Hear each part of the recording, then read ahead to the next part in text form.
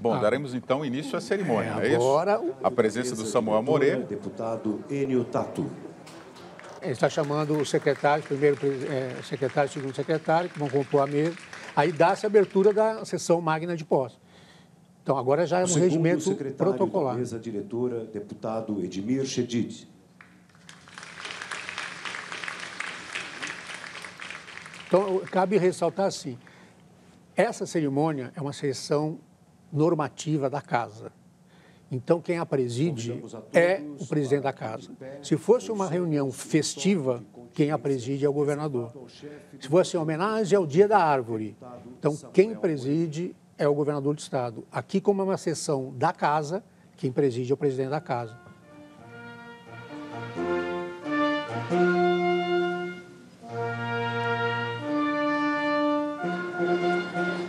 Isso quer dizer é o toque de autoridade.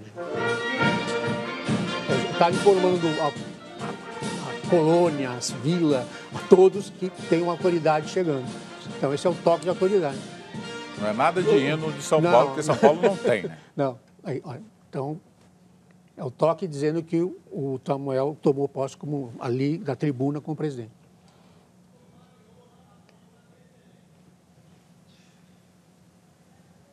Para conduzir esta sessão, passamos a palavra ao deputado Samuel Moreira, presidente da Assembleia Legislativa do Estado de São Paulo.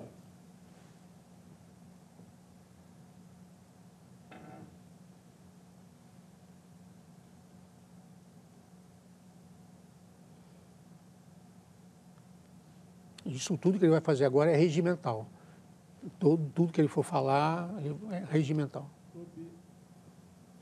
Sob a proteção de Deus, iniciamos os nossos trabalhos. Esta sessão solene tem por finalidade dar posse ao governador reeleito e ao vice-governador eleito do Estado de São Paulo.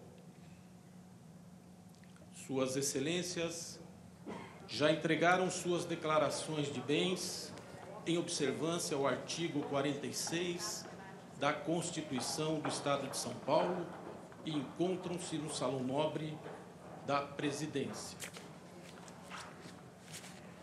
Só complementando. Essa declaração de bens é eu ia falar. entregue antes, Ah, co- é agora? Exatamente, na hora que nós chegamos, quer dizer, nós, o cerimonial chega e com, leva a documentação e entrega ao presidente. É uma coisa regimental, uma coisa, Ao nosso entendeu? É um, apresenta, protocola, é uma coisa. deputado Antônio Salim Líder do PP, deputado Barros Munhoz, líder do governo, deputado Campos Machado, líder do PTB, Gilmaci Santos, Ele está ele tá PLB, compondo a mesa que vai dar posse ao governador. Macris, do PSDB, Alex Manente, do PPS e demais líderes que se encontram em plenário.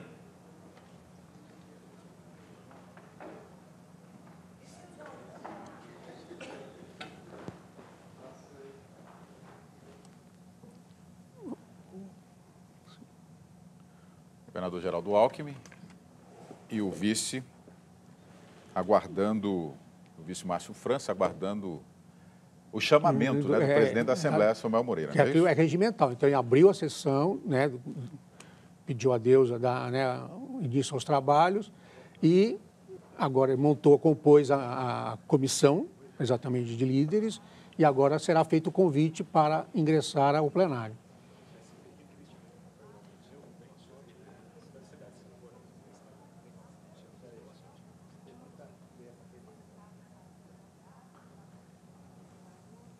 Salim Curiati. São essas pessoas que vão convidá-lo a entrar ao plenário.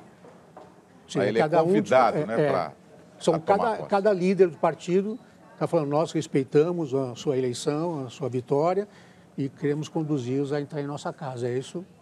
E ele entra na plenária, que é a casa do Legislativo. É um poder entrando na casa do outro poder. Então, E os é- três poderes se encontram, se aí encontram nessa aí. casa Quer agora. dizer, né? a- a- está constituído o poder paulista. Ele vai sentar direito. E aí, o governador Márcio senta à direita, Márcio França Aqui. à esquerda de Que a Samuel. autoridade sempre está à direita. Então, eu sou o Samuel, a minha direita estaria a, mais próxima autoridade. Aqueles são os secretários, o Tato, né? São os secretários da mesa. Agora ele vai fazer a leitura. Esta presidência quer reg- registrar as presenças do governador Geraldo Alckmin, sua esposa, dona Lu Alckmin, e seus familiares. Também do vice-governador eleito Márcio França, esposa dona Lúcia França e familiares. Doutor José Renato Nalini, presidente do Tribunal de Justiça, deputado Enio Tato, primeiro secretário desta casa, deputado Edmir Chedi, segundo secretário, doutora Ana Mara Osório Silva, procuradora-chefe da Procuradoria da República de São Paulo, doutor Márcio Fernando Elias Rosa, procurador-geral de Justiça, Paulo Adib Casseb, presidente do Tribunal de Justiça Militar, agradecer também a presença do desembargador Antônio Carlos Matias Couto, presidente do Tribunal Regional Eleitoral, conselheiro Edgar Camargo Rodrigues, presidente do Tribunal de Contas do Estado, deputados federais, deputados estaduais, demais autoridades já citadas pelo cerimonial, secretários, convidados. Esta presidência, neste ato, por força do inciso 4 do artigo 20, bem como do caput do artigo 43, ambos dispositivos da Constituição do Estado, e por determinação do artigo 28 da Constituição Federal, este Parlamento deverá dar posse hoje ao Excelentíssimo Senhor Geraldo José Rodrigues Alckmin Filho e ao Excelentíssimo Senhor Márcio Luiz França Gomes, nos cargos de governador e vice-governador do Estado de São Paulo, respectivamente, para um mandato de quatro anos. Convido a todos os presentes para, de pé, ouvirmos o hino nacional brasileiro, executado pela Banda da Polícia Militar do Estado de São Paulo, sob a regência do maestro primeiro-tenente Jassen.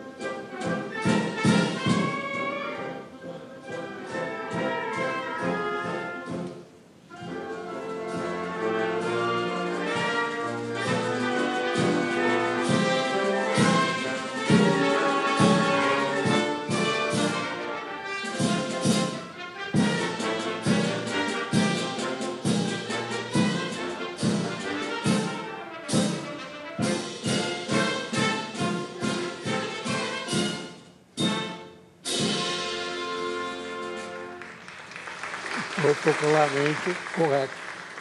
Você pode tocar o hino completo ou a primeira parte apenas, segundo Eu tinha um momento quando o Mário Covas era governador. Quero agradecer a banda da Polícia Militar de nós estávamos com o Paulo Maluf e o governador falava assim: fala para o Maluf que é meio hino só para assistir a bandeira.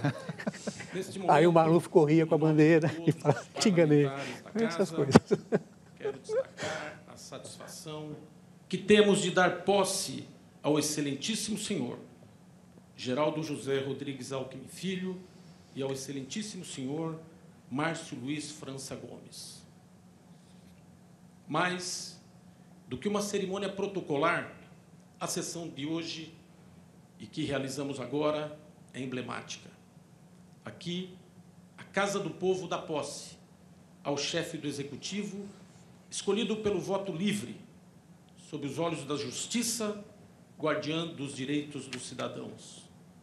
Aqui, os poderes constituídos, que dão conformação ao Estado, se entrelaçam, sustentam e ratificam os valores mais caros à democracia: o de fazer valer e dar fé à voz do povo. A voz dos paulistas, gente vinda de todos os cantos do país e do mundo. E aqui pego de empréstimo o que o governador Geraldo Alckmin disse com maestria na cerimônia de posse de 2003. Abre aspas. Ser paulista é uma maneira de enxergar o Brasil e de trabalhar por ele. Fecha aspas. Gente que ergueu e continua a construir diuturnamente a pujança do nosso Estado. Gente tão bem representada na pluralidade desta casa. Permita-me aqui, senhor governador, uma confissão. Algo bem pessoal. Sou um homem de sorte. Tive a honra de ser líder do seu governo. Em seguida, Fui escolhido pelos meus pares para presidir esta casa, credenciando-me para agora dar posse a Vossa Excelência por mais um mandato. O ato de hoje marca o início do quarto mandato de Vossa Excelência como governador dos paulistas. Uma história riquíssima de experiências bem-sucedidas, nas quais incluo as do então jovem vereador prefeito de Pindamonhangaba, em 1977, e no legislativo nesta casa, entre 1983 e 87, e em Brasília como deputado constituinte. Vossa Excelência conhece a fundo as exigências e a luta cotidiana para bem governar São Paulo. Detém a confiança renovada dos paulistas, que, aliada à sua obstinação de governar para as pessoas, garante não só o futuro, mas o presente promissor. O Brasil precisa muito disso. Precisa do vigor do Estado de São Paulo, de cada um de nós. Precisa muito do seu governo ativo e solidário. E, fundamentalmente, do espírito público e do exemplo ético de Vossa Excelência. Nos nos termos do artigo 43 da Constituição do Estado. Convido o excelentíssimo senhor Geraldo José Rodrigues Alckmin Filho, eleito e proclamado governador do Estado de São Paulo, para prestar o compromisso constitucional. Convido a todos a ficarem de pé.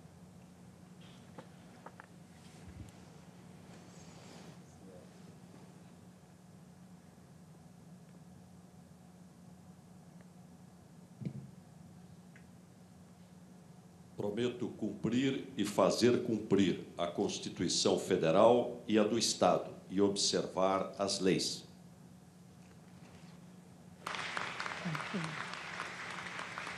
William, sempre gostaria de comentar assim, tudo que você é, proclama, aqui no caso, você tem que dizer. É a mesma coisa que o Neste padre momento, fala, você é casado agora nesse momento, e o governador declara aí também esse juramento. Então, o juramento é uma coisa muito importante, todas as vagas. Geraldo José Rodrigues Alckmin Filho. Bom, declarado então governador do estado de São Paulo. Você né? viu que ele também teve que declarar para legitimar essa, essa posse. Tem que ser dito. Agora o, governador em seguida faz um breve discurso, é isso? É, é, é considerado um breve discurso realmente, não tem nada.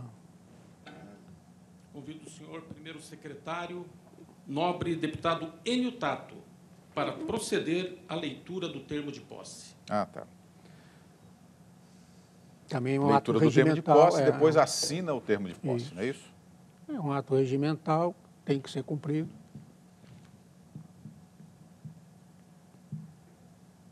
Termo de compromisso e posse do governador do Estado de São Paulo, senhor Geraldo José Rodrigues Alckmin Filho. No primeiro dia do mês de janeiro de 2015, às 10 horas, reunida a Assembleia Legislativa do Estado de São Paulo, em sessão solene no Palácio 9 de Julho, sob a presidência do excelentíssimo senhor deputado Samuel Moreira, compareceu o excelentíssimo senhor doutor Geraldo José Rodrigues Alckmin Filho, eleito e proclamado governador do Estado de São Paulo, para ser empossado no respectivo cargo, de acordo com o dispositivo no artigo 20, inciso 4 da Constituição do Estado. Por Sua Excelência, foi então proferido o seguinte compromisso: Prometo cumprir e fazer cumprir a Constituição Federal e a do Estado, e observar as leis. O excelentíssimo senhor presidente da Assembleia Legislativa, em seguida, declarou empossado no cargo de governador do Estado de São Paulo o excelentíssimo senhor doutor Geraldo José Rodrigues Alckmin Filho. Está lido o termo de compromisso e posse, senhor presidente.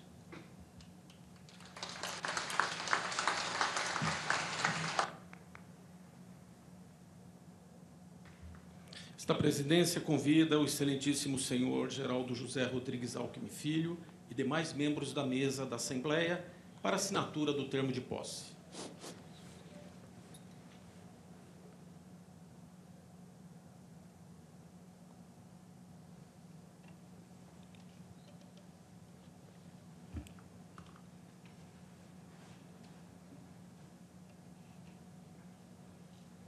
Na sequência, então, ele assina o termo de posse, faz um discurso, discurso. não é isso? E aí encerra a cerimônia e eles se dirigem ao, ao externa, estacionamento, né, estacionamento. da Assembleia Legislativa.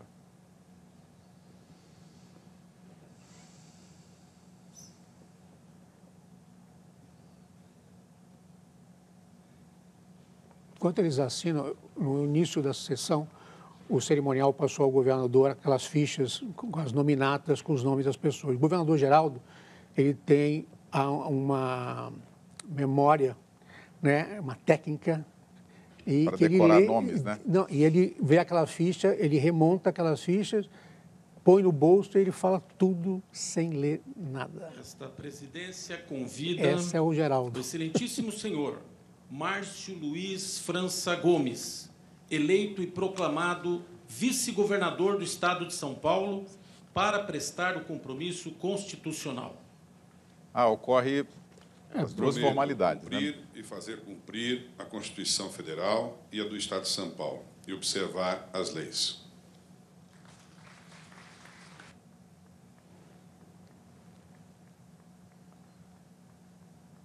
Porque como na ausência do governador ele assume, tem que fazer o juramento também, para se declarar empossado. Neste momento, declaro empossado no cargo de vice-governador do Estado de São Paulo o excelentíssimo senhor Márcio Luiz França Gomes. Aí...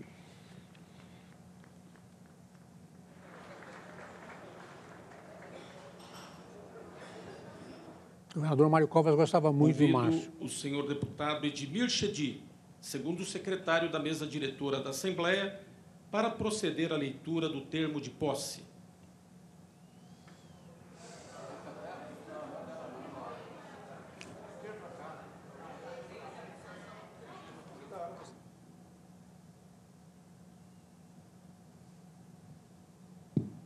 Termo de compromisso e posse do vice-governador do Estado de São Paulo, senhor Márcio Luiz França Gomes.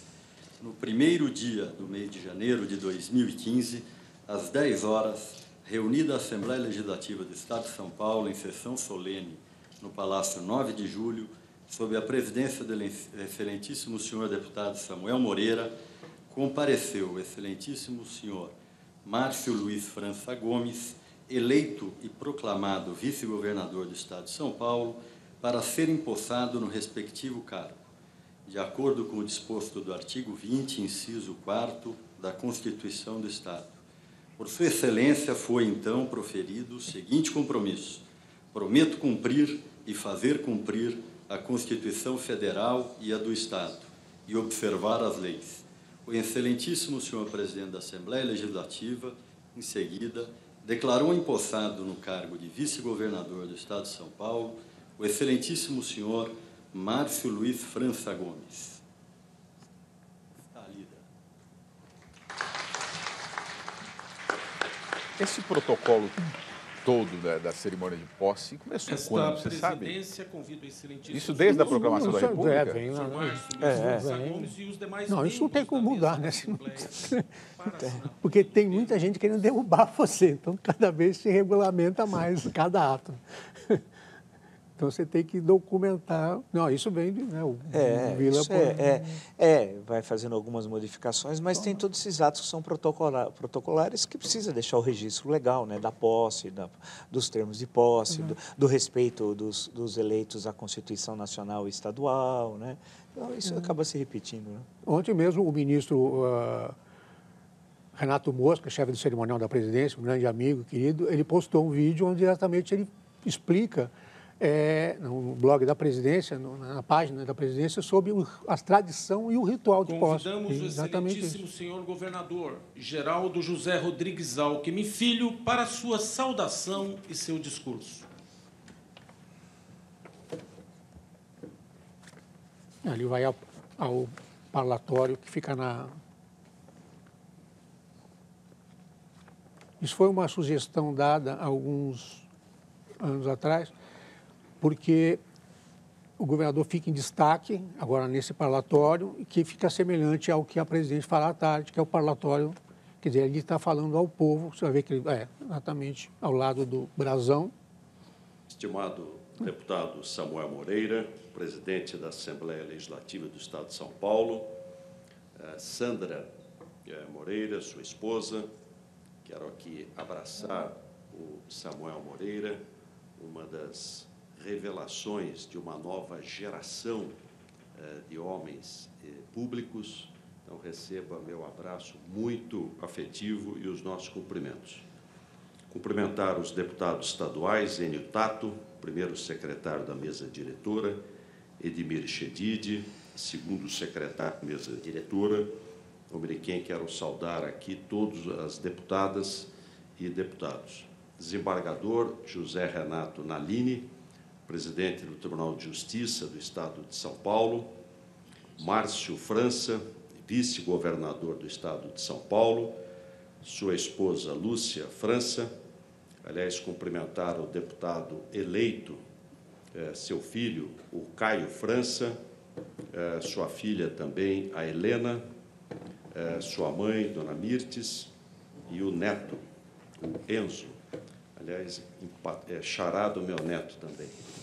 Eh, cumprimentar o desembargador Antônio Carlos Matias eh, Coutro, presidente do Tribunal Regional Eleitoral, o juiz Paulo Adib Casseb, presidente do Tribunal de Justiça Militar do Estado, procurador-geral de Justiça do Estado de São Paulo, doutor Márcio Elias Rosa, conselheiro Edgar Camargo Rodrigues, presidente do Tribunal de Contas do Estado, o secretário de Governo Municipal Chico Macena, representando o prefeito da capital, prefeito Fernando Haddad, Ana Mara Osório Silva, procuradora-chefe da Procuradoria da República em São Paulo, general de Exército João Camilo Pires de Campos, comandante militar do Sudeste, vice-almirante Wilson Pereira de Lima Filho, comandante do 8º Distrito Naval e sua esposa, cumprimentar o Major Brigadeiro do Ar,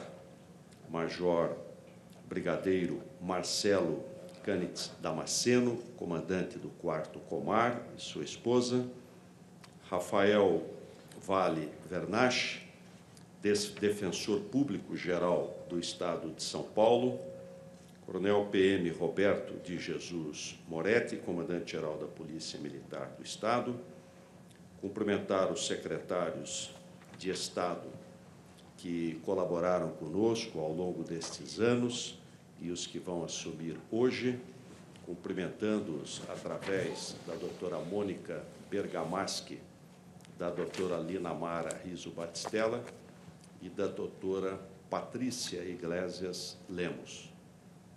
A alegria de ter aqui conosco a doutora Laide Quércia, membros do Poder Judiciário, do Ministério Público, parlamentares, federais, estaduais, municipais, representantes do corpo consular, prefeitos, prefeitas, autoridades civis, militares, religiosas, entidades de classe, associações de bairro, lideranças da sociedade civil. Quero cumprimentar a Lu, queridíssima esposa e namorada, os meus filhos, o Geraldo, o Tomás e a Thaís, e dizer da alegria de nos encontrarmos aqui, já pedindo desculpas, né, pelo incômodo do primeiro de janeiro, nesta madrugada de Réveillon. Né? Com muita alegria, volto a esta casa, da qual fiz parte e a qual devo boa parte de minha bagagem democrática.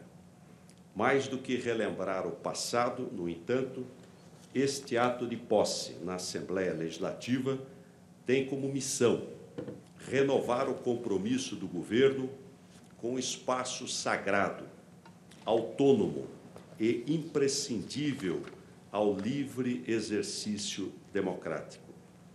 Pudemos, nesses últimos quatro anos, executivo e legislativo, colaborar para melhorar a vida dos brasileiros de São Paulo.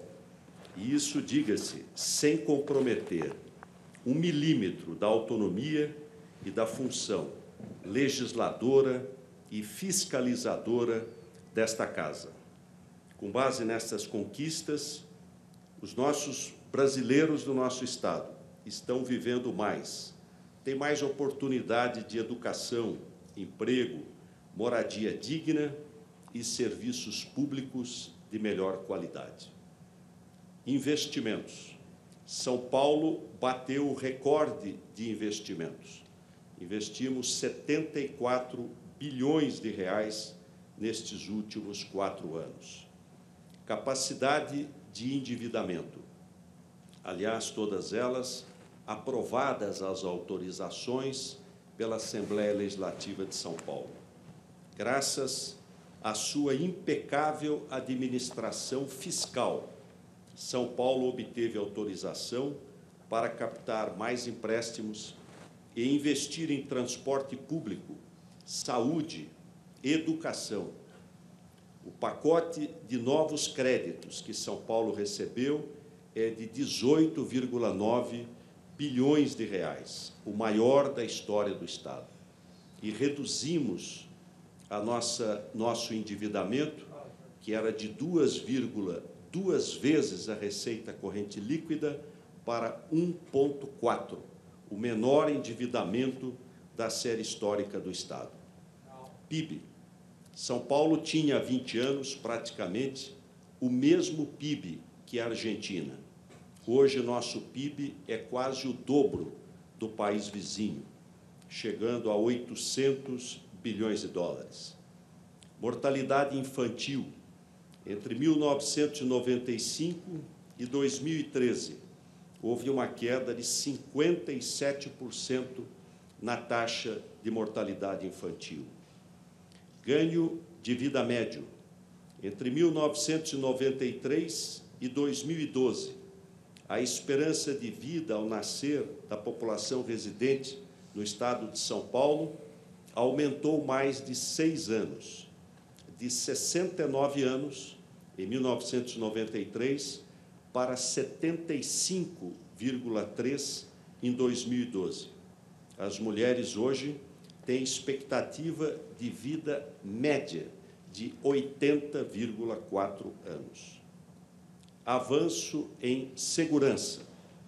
A política de segurança pública de São Paulo é reconhecida como modelo para o país pelas Nações Unidas e outras entidades. A queda da taxa de homicídios poupou a vida de 93 mil paulistas desde 1999.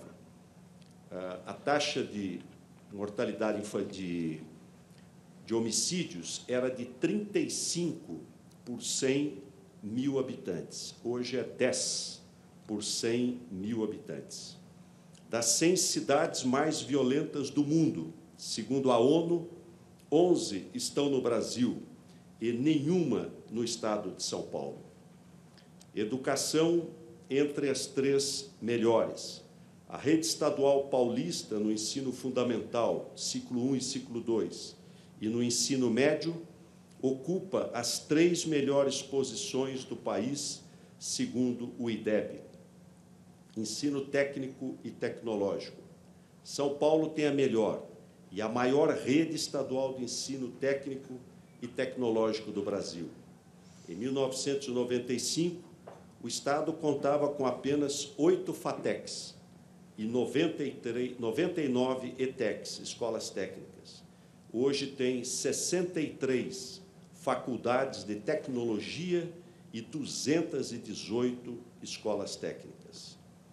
Também reconheço nesta Assembleia o esforço essencial, presidente Samuel Moreira, para que São Paulo se tornasse exemplo de parcerias frutíferas com o setor privado.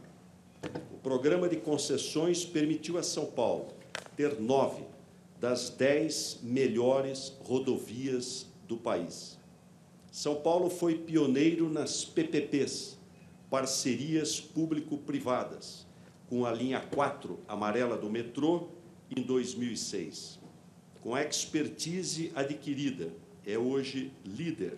São 12 PPPs contratadas no investimento de 33 bilhões de reais a parceria público-privada, a PPP da FURP, em Américo Brasiliense, a PPP da linha 6, que vai atravessar a metrópole, desde São Joaquim até Freguesia do Ó e Brasilândia.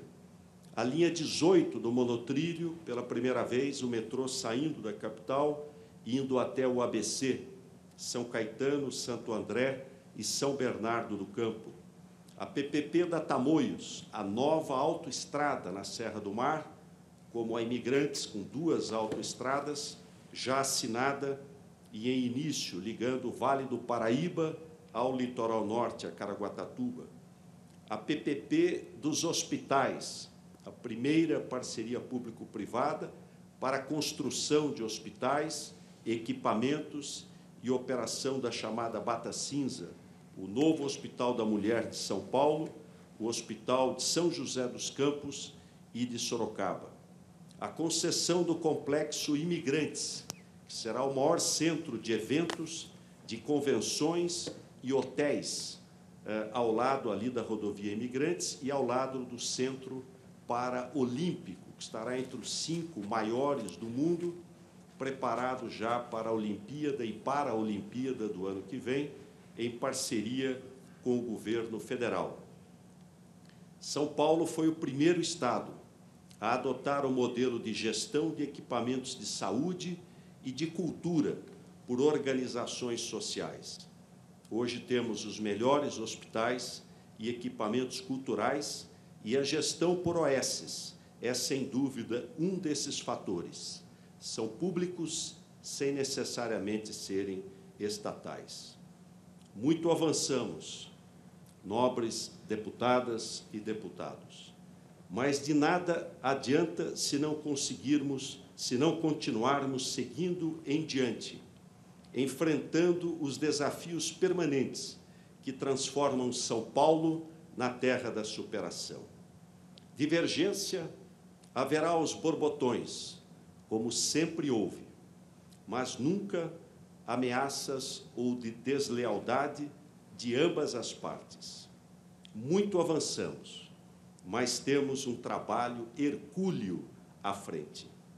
Por isso encerro com a frase de Mário Covas: a esta mesma Assembleia, por ocasião da posse de seu segundo mandato, em janeiro de 1999, querido Bruno Covas.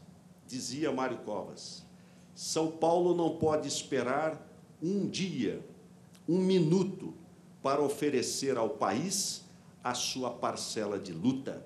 São Paulo nunca vai virar suas costas ao Brasil. Muito obrigado.